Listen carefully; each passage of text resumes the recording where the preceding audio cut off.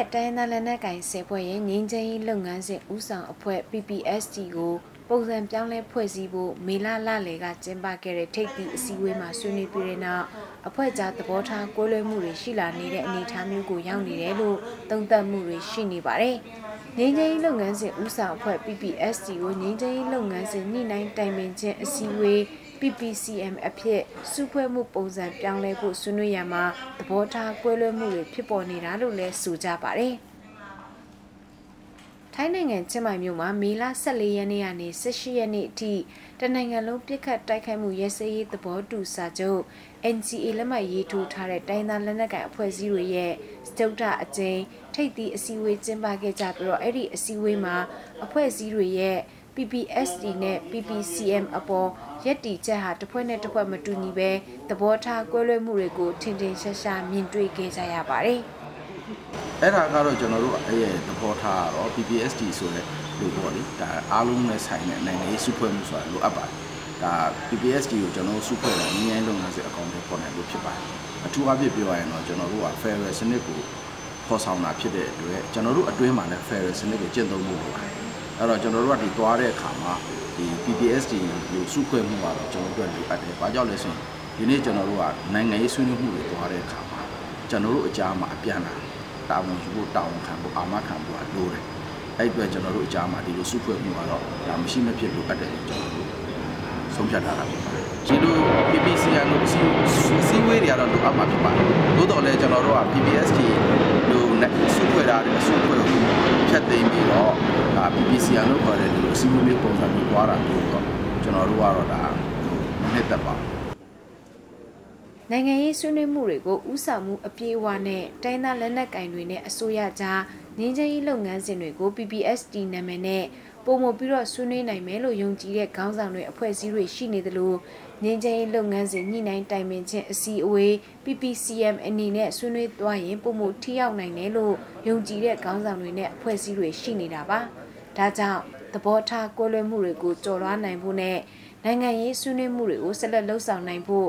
NCA အပြည့်ရတိုင်းသားလက်နက်ကင်တွေရဲ့စတုထအကြိမ်မြောက်ထိပ်သီးခေါင်းဆောင်များအစည်းအဝေးပထမပိုင်းကနေအလုတ်အဖွဲ့နှစ်ဖွဲ့ကိုဖွဲ့စည်းခဲ့ကြပါတယ်။လက်ရှိတစ်ဆွနေတဲ့နိုင်ငံရေးဆွေးနွေးမှုတွေကိုကြော်လွှားနိုင်ရန်အစိုးရနဲ့တွဲဆောင်ဆွေးနွေးမဲ့ဆွေးနွေးညှိနှိုင်းရေးအဖွဲ့နဲ့ လက်နက်ကင်အဖွဲ့အစည်းတွေအားလုံးပါဝင်နိုင်တဲ့စုဖွဲ့မှုတစ်ခုကိုဖွဲ့စည်းနိုင်ဖို့အလို့အဖွဲ့ဆိုပြီးတော့အဖွဲ့နှစ်ဖွဲ့ကိုဖွဲ့စည်းလိုက်တာဖြစ်တယ်လို့တိုင်းသားခေါင်းဆောင်တွေကပြောပါတယ်။ခုကျွန်တော်တို့အလုပ်ဖွဲ့ဖွဲ့တယ်ဆိုတဲ့နေရာမှာလေနှစ်ပိုင်းရှိတယ်เนาะခုနပြောတဲ့တစ်ဆုပ်နေတဲ့ကိစ္စလေးတွေကင်တွယ်ဖို့ခုနဆရာပြောပြောနေတဲ့ Federal ဒီစောက်ရေးဆိုင်ရာလုပ်ငန်းစဉ်အဲကိစ္စတွေကင်တွယ်ဖို့တတ်တတ်ခုနနောက်နောက်တစ်ချက်ကတော့ခုနကျွန်တော်ပြောပြောနေတဲ့စုဖွဲ့မှု ဟိုပုံစံတစ်ခုပေါ့နော်အဲကိစ္စကိုလည်းဆွေးနွေးဖို့ဆိုအဖွဲ့နှစ်ဖွဲ့ရှိတယ်ခုနဆရာမင်းတဲ့မင်းခွန်းကိုဖြေရမယ်ဆိုရင်တော့ဟိုတစ်ဆုပ်မှုကိုကြော်လွားနိုင်ရတဲ့ဖွဲ့ထားတဲ့အလုပ်ဖွဲ့ကဒီခုနပြောလုပ်ငန်းပိုင်းတွေကိုယ့်ဘက်မှာပြင်ဆင်မှုပိုင်းတွေလည်းရှိပဲပြီးတယ်နဲ့ဟိုဘက်ကအစိုးရဖက်နဲ့လည်းအလုပ်အဖွဲ့ချင်းတွေ့ဖို့ရှိတယ်အဲအလွတ်တဘောဆိုတဲ့အနေထားရှိတယ်အခုလောဆယ်ကအဲ့လိုဟိုစစ်စင်ထားပါတယ်ပေါ့ ဟိုဥဆောင်တာဒါမျိုးတော့မရှိဘူးကျွန်တော်တို့အခြေခံအနေနဲ့ဥပမာတစ်ဖွဲ့တယောက်အခြေခံနေပေါ့နော်အဲဒါဒါတစ်ချက်နောက်တစ်နောက်တစ်ခါကလည်းလိုအကေးလိုအပ်လို့ရှိရင်ပေါ့နော်တက်ဆိုင်တဲ့ဟိုနီးပညာရဲ့ပိုင်းဆိုင်ရာပုဂ္ဂိုလ်တွေလားဟို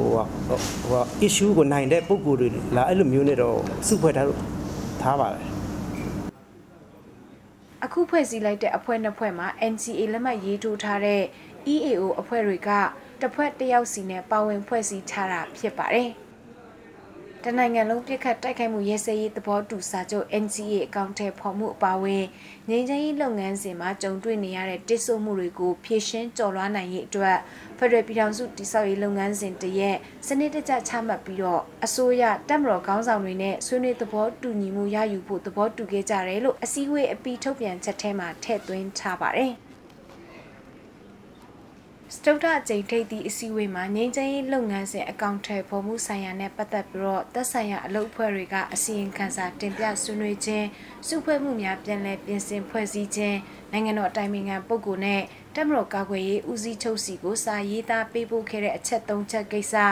ငင်းချမ်းရေးလုပ်ငန်းစဉ်ဦးဆောင်အဖွဲ့ PPSD ကိုငင်းချမ်းရေးလုပ်ငန်းစဉ်ညှိနှိုင်းတိုင်ပင်ချက်အစည်းအဝေး Peace Process Consultative Meeting PPCM ပြောင်းလဲမဲ့ကိစ္စနဲ့တိစွနေတဲ့ငင်းချမ်းရေးလုပ်ငန်းစဉ်ရှေ့ဆက်နိုင်ဖို့ဂတိကဝတ်ပြုချက်လက်မှတ်ရေးထိုးရေးကိစ္စတွေကိုဆွေးနွေးခဲ့ကြတာပါချက်နေရဒီလုပ်ငန်းစဉ်ကိုပေါ်တယ်ပေါ်တဲ့အခါမှာကျွန်တော်တို့အဖွဲ့အစည်းများကြားမှာဒီ PPSD အဖွဲ့ကိုဖွဲ့စည်းများကြားမှာဘ ယ်လိုပူးပေါင်းမှုနဲ့ဒါဆက်ပြီးသွားမလဲဆိုတာကိုဒါလည်းအဓိကကြားတဲ့အချက်တစ်ခုဖြစ်မှာဖြစ်ပါတယ်ဒီနေ့ဖြစ်ပေါ်ဒီနေ့လက်ရှိအခြေအနေများနဲ့အညီပေါ့ကျွန်တော်တို့အတွင်းမှာတိုင်းလာလက်များကောင်းတဲ့အဖွဲ့အစည်းတွေကြားမှာဘယ်လိုဆက်ပြီးသွားအောင်ပြီးတခါ NCA ကိုမထိုးသေးတဲ့ကျွန်တော်တို့ရဲ့ညီတော်တိုင်းလာအဖွဲ့အစည်းတွေကျွန်တော်တို့ကြားပါတယ်ဘယ်လိုဆက်ပြီးတော့ပူးပေါင်းဆောင်ရွက်ကြမလဲဆိုတာဖြစ်ပါတယ်နောက်တစ်ခုကတော့ကျွန်တော်တို့ဒီနေ့ညီညွတ်ရေးလို့ကျွန်တော်ပြောတဲ့အခါမှာတိုင်းသားလက်နက်ကိုင်ဖွဲ့စည်းရေးကြားမှာညီညွတ်ရေးလည်းလိုအပ်တယ် ကျွန်တော်တို့အစိုးရနဲ့ညီညွတ်ရေးတက်မတော်နဲ့ညီညွတ်တဲ့ဒါလိုပါတယ်အဲ့ဒီလိုညီညွတ်ရေးတွေရမှလည်းကျွန်တော်တို့ကငြိမ်းချမ်းရေးလုပ်ငန်းစဉ်ကိုကျွန်တော်တို့ကဆက်ပြီးပေါ်ဆောင်မှာဖြစ်ပါတယ်။ဒါကြောင့်ဒီနေ့ရပ်တန့်နေတဲ့ငြိမ်းချမ်းရေးလုပ်ငန်းစဉ်ကိုအကောင်းဆုံးပေါ်တဲ့အခါမှာသက်ဆိုင်သူအားလုံးကြားမှာကျွန်တော်တို့ဘယ်လိုညှိနှိုင်းပြီးတော့ဆက်လက်ပေါ်ဆောင်မှာဒါဒီအဓိကဆွေးနွေးကြဖို့ဖြစ်ပါတယ်။လက်ရှိနိုင်ငံရေးဆွေးနွေးပွဲတွေမှာအဓိကတစ်ဆုနေတဲ့အကြောင်းအရာတွေကတော့တက်မတော်ရဲ့သဘောထားတွေနဲ့ပတ်သက်တယ်လို့ခေါင်းဆောင်တွေကပြောပါတယ်။ အဓိကတစ်ဆုပ်နေတာတော့ဆရာတို့လည်းသိမှာပါနော်ခွဲမထွက်ရဆိုတဲ့ကိစ္စရယ်နောက်တစ်ခုတည်းတော့တတ်မတော်ဆိုပြီးတော့မှကျုပ် DDR ကြီးပဲသဘောကတော့အဲ့ဒီကိစ္စအဲ့ဒီဗမာတတ်မတော်ကသဘောထားတယ်လေအဲအဲ့ဒီကိစ္စအပေါ်မှာကျွန်တော်တို့ကြားထဲမှာအမြင်စူးစီးပြီးတော့မှဒါကိုဘယ်လိုနည်းနဲ့ဖြတ်ကျော်မလဲဆိုတဲ့ဟာကျွန်တော်တို့မှနားလည်မှုရပါတယ်အဓိကတစ်ဆုပ်မှုတွေကိုဖြတ်ကျော်နိုင်ခုနည်းလမ်းနဲ့နောက်ကျွန်တော်တို့ဖက်ဒရယ်တွေကို ဟိုအခြေခံရယူဖို့လေကျွန်တော်တို့ကြားထဲမှာအနေနဲ့ညှိနှိုင်းကြတယ်အဲအဲ့ဒီပုံစံလေးဟိုဘောတူညီမှုရပါတယ်ကျွန်တော်တို့အားလုံးငင်းချင်းလုပ်ငန်းစဉ်ဥဆောင်အဖွဲ့ PPSD ကိုငင်းချင်းလုပ်ငန်းစဉ်ညှိနှိုင်းတိုင်ပင်ခြင်းအစီအဝေး PPCM အဖြစ်တောင်းလဲဖွဲ့စည်းဖို့ကရင်အမျိုးသားအစည်းအရုံး KNU ကတင်ပြဆွေးနွေးခဲ့ပြီး အဲ့ဒီဆွေးနွေးမှုအပေါ်အပြည့်ရဲ့ EAO အဖွဲ့တွေအကြားသဘောထားကွဲလွဲမှုတွေရှိခဲ့တယ်လို့အပြည့်ရဲ့ခေါင်းဆောင်တွေကဆိုပါတယ်။ PPCM ကြောင့်ငင်းချိုင်းပြက်မယ်လို့သုံးသပ်တဲ့အချက်မှာကျွန်တော်နှစ်ပိုင်းမြင်တယ်ပထမပိုင်းက PPCM ကဘာလဲဆိုတာသူတို့မရှင်းလင်းတဲ့အတွက်ကြောင့်ပဲဒါကိုကျွန်တော်တို့ရှင်းပြခဲ့ပါတယ် PPCM ဆိုတာကနောက်ထပ် PPST လိုမျိုး institution အသစ်တစ်ခုထောင်တာမဟုတ်ဘူးသူက လက်မှတ်ထိုးတဲ့အဖွဲ့နဲ့မထိုးတဲ့အဖွဲ့ကြားမှာကြည်ကြပြန့်ပြန့်နဲ့ကျွန်တော်တို့အသည့်အမြင်တွေဖလှယ်ဖို့အကြံပြုနိုင်ဖို့တော့ကြည်ကြည်လက်ဆွေးနွေးနိုင်ဖို့နောက်တော့တနိုင်ငံလုံးရဲ့အရေးမှာတိုင်းသားတွေအားလုံးရဲ့အရေးမှာဘလို့အတူတကွကျွန်တော်တို့ယက်တီချက်တွေချမှတ်ပြီးတော့မတူညီတဲ့လမ်းကြောင်းကနေဘလို့အတူတကွဆက်သွားမလဲဆိုတော့အခြေခံတစ်ခုပေါ်မှာ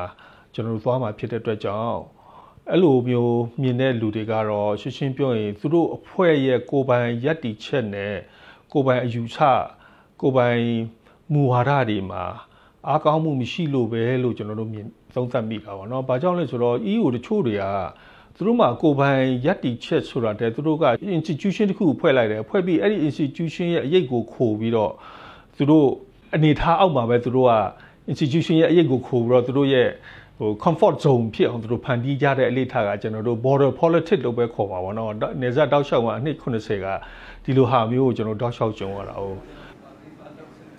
KNU ကတော့လက်ရှိဖွဲ့စည်းမှုကအလုံးမဖြစ်ပဲအခြေအနေတွေပိုဆိုးသွားစေမယ်လို့ယူဆထားပါတယ်။ကျွန်တော် KNU ကတော့သူများဖွဲ့နဲ့မတူတာကကျွန်တော်တို့မှာကိုပိုင် policy ရှိတယ်မူဝါဒရှိတယ်အခြေခံမူရှိတယ်လုပ်ငန်းလမ်းညွှန်ရှိတယ်။ဒီလုပ်ငန်းလမ်းညွှန်တဲ့ဒီအခြေခံမူတွေဟာတနိုင်ငံလုံးနဲ့ပတ်သက်နေပြီးတော့ကျွန်တော်တို့ဒီတနိုင်ငံလုံးငြိမ်းချမ်းရေးရဖို့ဆိုတဲ့အပိုင်းမှာကျွန်တော်တို့မှာအဲ့လိုမျိုးရည်ရွယ်ထားတဲ့အခြေခံမူတွေရှိတယ်။ဆိုတော့အဲ့အတွက်ကြောင့်ကျွန်တော်တို့မှာ အခု PPST လို့သာဆက်သွားမယ်ဆိုရင်ကျွန်တော်ထင်တာကတော့ပို့ပြီးတော့အခြေအနေဆိုးသွားလိမ့်မယ်နောက်ဆုံး2020မှာလမ်းဆုံးသွားပြီးတော့တကြောပြန်ကျွန်တော်တို့ပြန်မဖြစ်ဘူးလို့တော့ကျွန်တော်တို့ပြောလို့မရဘူးကျွန်တော်တို့အဲ့ဒီဟာတွေကြိုမြင်တဲ့အတွက်ကြောင့်ကျွန်တော်တို့အခုလိုမျိုးကြိုပြီးတော့တနိုင်ငံလုံးအသွင်သဏ္ဍာန်ဆောင်တဲ့ကျွန်တော်တို့အပြစ်ခတ်ရစေရေးကိစ္စကိုအခြေခံတဲ့ဒီတူညီမှုတွေကျွန်တော်ရှာနိုင်ဖို့အတွက်ဖြစ်ပါတယ်တစ်ဆုပ်မှုတွေကို ရှင်းလင်းဖေရှားမယ်အပြည့်ရဲ့လက်နက်ကင်တွေအကြားမပြည့်ပြတ်သေးတဲ့ PPSD နဲ့ PPCM အပေါ်သဘောထားကွဲလွဲမှုတွေကိုဆက်လက်ဆွေးနွေးသွားဖို့ရှိတယ်လို့ပြောပါတယ်အခုလောလောဆယ်ကြတော့ခုနဒီကိစ္စအာဆွေးနွေးတော့ဟိုပါပေါ့နော်အတိအပြတ်မဖြစ်သေးဘူးဒီဘက်ကဒီ PPSD ကလည်းအတိုင်းအတာတစ်ခုထိကျွန်တော်တို့ကဒီမှာဆက်လက်တည်ရှိဖို့ ဟိုကျွန်တော်တို့ဘက်ကဆွေးနွေးခဲ့ကြတယ်နောက်နောက်တစ်ခုကလည်းခုနပြောပြောနေတဲ့ PPCM ကိစ္စကိုလည်းအဲဘယ်လိုအခင်းချင်းနဲ့လာမလဲဆိုတော့ဟိုပါပေါ့ဆက်လက်ဆွေးနွေးနေတဲ့အနေအထားဖြစ်တယ်ဟိုဒါကြောင့်မခုနပြောလိုက်တဲ့အဖွဲ့အလုပ်လုပ်ငန်းအဖွဲ့တွေဖွဲ့လိုက်တာလေဒီဒီကိစ္စတွေပါတာပေါ့ဒီမှာမပြတ်သေးဘူးဆိုတဲ့အနေထားဒါကြောင့်ခုနဆန်ဆန်နိုင်ငံကပြောသလိုပဲအခုဒီညီလာခံကဒီ summit ကပထမပိုင်းနောက်ဒုတိယပိုင်းကရှိအောင်မယ်အဲ့အဲ့ချိန်ကျမှပဲအဲ့မှာအခြေလေထပ်ပြီးတော့ ဟိုပေါ့နော်အဆုံးဖြတ်ဖို့ရှိပါတယ်ပေါ့အဲ့လိုပြောင်းလာဒီမှာပြည်လေးသားမှုထားခြင်းကနေရာချထားခြင်းကဖက်ဒရယ်အရေးကြီးဖြစ်ပါတယ်ထားပြီးစတုထအကြိမ်မြောက်ထိပ်သီးအစည်းအဝေးကနေတစုံတရာဆုံးဖြတ်ချက်ချနိုင်တာမျိုးမရှိခဲ့ပါဘူး PPSD ကို PPCM အဖြစ်ပြောင်းလဲဖွဲ့စည်းဖို့အပါအဝင်မပြီးပြတ်သေးတဲ့ဆွေးနွေးမှုတွေဆက်လက်ဆွေးနွေးဆုံးဖြတ်ဖို့အတွက်အပြည့်ရဲ့ EAO အဖွဲ့တွေရဲ့စတုထအကြိမ်မြောက်ထိပ်သီးခေါင်းဆောင်များအစည်းအဝေးဒုတိယပိုင်းကို အမြန်ဆုံးကျင်းပသွားမယ်လို့အပြည့်ရဲ့ခေါင်းဆောင်တွေကပြောပါတယ်။စတုထအကြိမ်မြောက်ထိပ်သီးခေါင်းဆောင်များအစည်းအဝေးပထမပိုင်းမှာလက်မှတ်မရေးထိုးရသေးတဲ့ကချင်လွတ်လပ်ရေးအဖွဲ့ KIO နဲ့ဂရနီအမျိုးသားတိုးတက်ရေးပါတီ KNPP ကကိုယ်စားလှယ်တွေလည်းလေးလာသူတွေအနေနဲ့တက်ရောက်ခဲ့ကြပါတယ်။ လက်ရှိဆွေးနွေးပွဲတွေမှာဖက်ဒရယ်ပြည်ထောင်စုတိဆောက်ရေးအတွက်မူပေါင်းတွေမရေးဆွဲနိုင်သေးသလိုတစ်ဆို့မှုတွေကိုယ်လဲမှုတွေရှိနေတဲ့အတွက်ဒါဟာငြိမ်းချမ်းရေးအတွက်စိုးရိမ်ရတယ်လို့ထောက်ပြမှုတွေရှိနေပါတယ်။ဒီအနေအထားတွေကိုကျော်လွှားနိုင်ဖို့ EAO တွေအချင်းချင်းကြားအမြဲဆုံးအပြေရှာပြီးတော့ဖြည့်ရှင်းနိုင်ဖို့မျှော်လင့်နေကြပါတယ်ရှင်။ကျွန်တော်တို့ကတော့ကျွန်တော်ဒီနေ့မြင်တာကတော့ကျွန်တော်တို့တိုင်းပြည်ပေါ့အခြေအနေကအထူးထူးအကျက်တဲနဲ့ကျွန်တော်ရင်ဆိုင်နေရတယ်အဲဒီအထူးထူးအကျက်တဲနဲ့ရင်ဆိုင်နေရနေပြီးတော့မှ ကျွန်တော်တို့အတွင်းမှာညီညွတ်မှုမရှိဘူးဆိုရင်တော့ဒီတက်ပုံမှုကြက်တဲတဲ့အခြေအနေတစ်ရက်ကိုဆက်ရောက်သွားနိုင်တယ်ဆိုတဲ့အမြင်သဘောထားရှိပါတယ်ဒါကြောင့်ကျွန်တော်တို့တိုင်းသားလက်နက်ကိုင်တော်လိုင်းအဖွဲ့အစည်းတွေအကြားမှာညီညွတ်ရေးရတယ်ဒါကျွန်တော်တို့တက်သေးရှိအရေးကြီးတယ်ထို့နည်းတူပဲအစိုးရနဲ့ကျွန်တော်တို့နဲ့အကြမှာကမ္ဘာတော်နဲ့ကျွန်တော်တို့အကြမှာဒါကျွန်တော်တို့ဒီညီညွတ်ရေးတွေဟာရဖို့ဟာဒါအရေးကြီးပါတယ်ရောက်ဒီအခုစုဖွဲ့မှုကလည်းပဲကျွန်တော်တို့အကြမှာပို့ပြီးတော့ခိုင်မာတဲ့စုဖွဲ့မှုဖြစ်ပြီးတော့ဒီညဉ့်ညမ်းရေးလုပ်ငန်းစဉ်အကောင့်တွေပေါ်နိုင်ရေးကျွန်တော်ဥပဒေတော်မှာဖြစ်ပါတယ်